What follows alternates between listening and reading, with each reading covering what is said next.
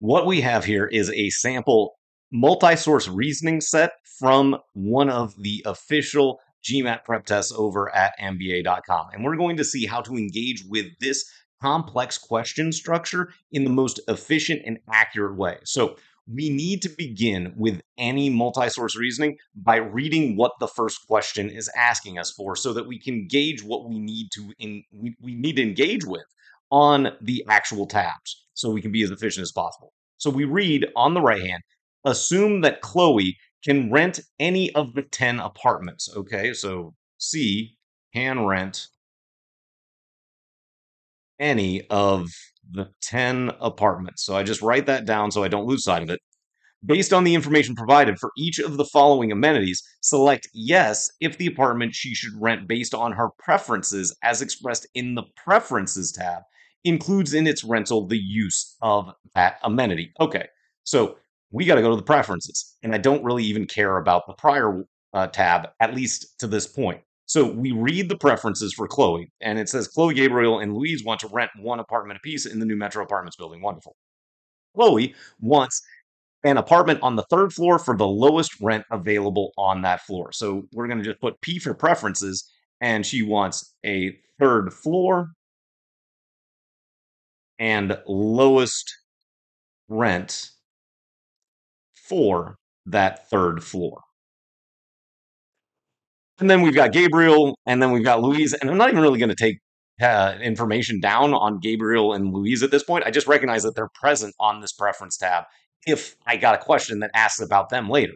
So now we've got to go to the amenities, and we see in the diagram a number is inside a circle representing a given amenity if and only if rental of the apartment with that number includes the use of that amenity. And I go, okay, well, this is way too much extra stuff. I got to go back to the discussion because I don't see anything about floors, and that's really all that Chloe's concerned with. So it has to be on the discussion tab at this point. So we're looking at the third floor and the lowest rent of the third floor. So if she gets both of her amenities, we know that she's going to rent based on this tab apartment number 10. So we now know which apartment she's got. So we go to the amenities and we're looking for apartment 10. And we should see that apartment 10, well, it does have an attached outdoor living space, but it doesn't have a parking space and it doesn't have a basement storage closet. And this made it relatively straightforward. Now we can move on to the next question Hopefully, you're enjoying the tips in this video. And if you are, please do like it and consider subscribing so you can get notified when additional videos are released by MyGuru. Additionally, check out the links down below because they can take you to this page where you can request a free consultation with an expert GMAT tutor such as myself.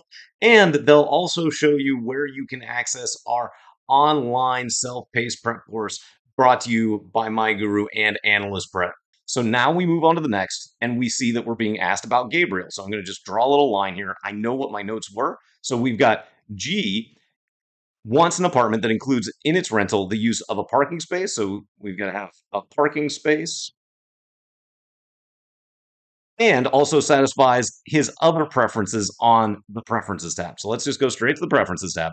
And we've got Gabriel wants an apartment, the rental of which includes use of both an attached outdoor living space. So we need outdoor and a basement storage closet. So we'll just say basement closet. So now we've got to go to the discussion and make sure that there's nothing there that would be relevant. And we see no, so we need a parking space.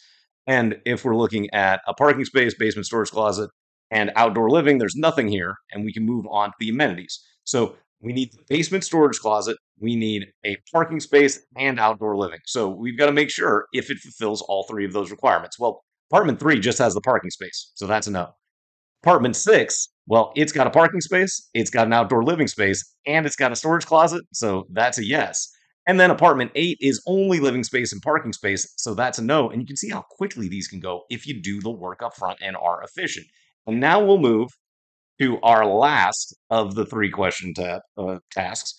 And so we're going to take notes again, and we'll just draw a little line underneath. And you probably are going to, again, have all of your notes re- uh, ready for you as you're working through all three of the individual question slides. So we read, based on the information provided, which one of the 10 apartments would best satisfy Louise's preferences as expressed on the preferences tab? So we've got to get L, and we've got this discussion again, which we know is relatively extraneous. We just check for once to see if there's anything about Louise, but then we skip to the end of the preferences tab and we see Louise wants an apartment on the first floor. So she wants first floor. She wants the rental of which includes the use of at least two of the three amenities. So two plus amenities. And we should note at this point that there's only the three amenities from the work we just did on the prior question regarding Gabriel. So we've got to go to the discussion tab and figure out what the first floor apartments are to start. And we know that they're there. We don't have to hunt and peck. So now we just write it out that it's the first floor are apartments one and two. So we already know that it's not three, four, or five is the correct answer. So then we'll go to the amenities.